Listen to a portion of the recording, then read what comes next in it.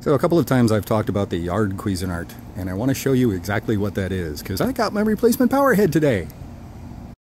So this is the yard Cuisinart. It looks an awful lot like a weed whacker, which is exactly what it is, until you get to the business end. yes indeed, those are steel blades. And that diameter is probably, I don't know, 10, 11 inches.